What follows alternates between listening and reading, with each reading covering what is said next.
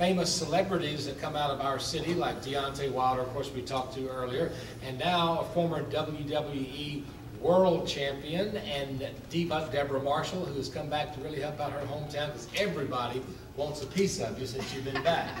And Rick Piel from uh, Piel Photography, of course, uh, joins us to talk about a big Halloween bash 2010 coming up this Thursday night at the Jemison uh, Mansion. Welcome back. Thank you. It feels great to be back in my hometown. I'm, I moved back a little over a year ago, and um, I've really been trying to just to put myself out in the community because I love this is my hometown, I know. and know. I just want to help out as much as I can what I've accomplished being away and moving back, Yes, I know you are. Like I said, everyone wants you to be a part of what they're doing, which is a great thing. And uh, how is it coming back from all the, I mean, the WWE and, and, you know, all that, we all know all the glamour and the glitz and the showbiz and the lights and the cameras and the action and the big mansions and all that.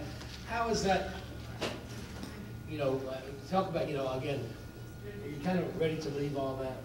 Yeah, it's really like a rat race. I mean, I, I did my dream, and like I said, I'm just in chapter, I'm in chapter three now of my life. But it's, it's crazy, and again, I never lost who I am, you know, my hometown roots, I never lost that. And again, that's just that time of my life, and now I'm in a new chapter. But um, it's great being back, because it's nice to go somewhere, and I run into people from school, or Swear, I think I have three thousand cousins here. It's wonderful. So I, I don't know, it's just nice. Right, right. Well, there, there are some pretty famous marshals that are al- already here too, like Jack Marshall. Yes. People like that, you know, but everybody, you know, one thing I can truly say is that, uh, like you said, we used to run into you at the gym all the time when you'd come back, but uh, you were always Debra.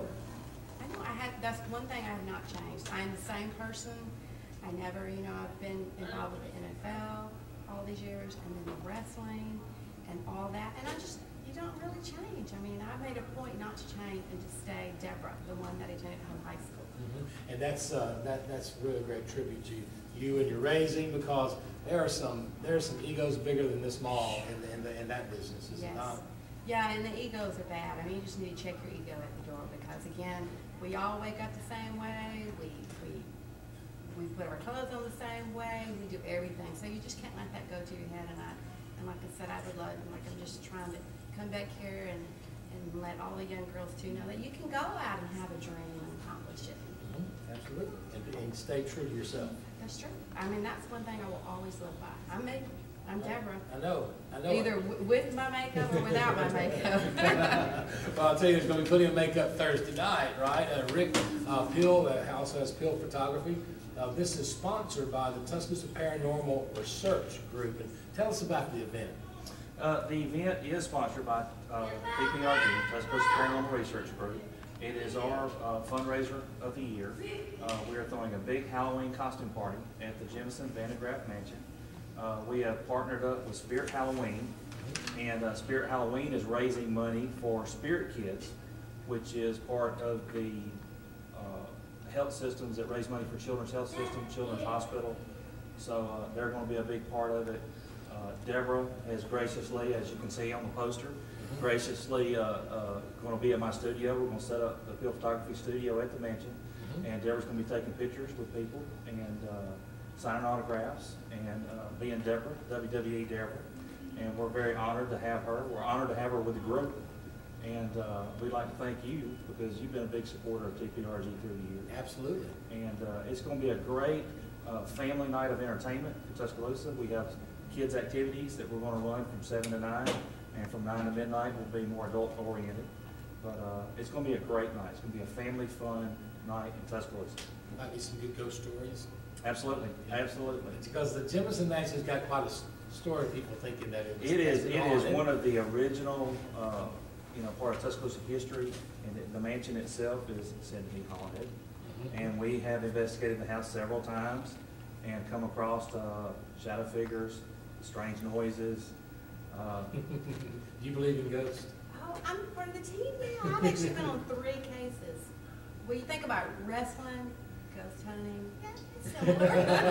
Well, I know as, a- as a, as a young girl, did you ever go to Maxwell Crossing?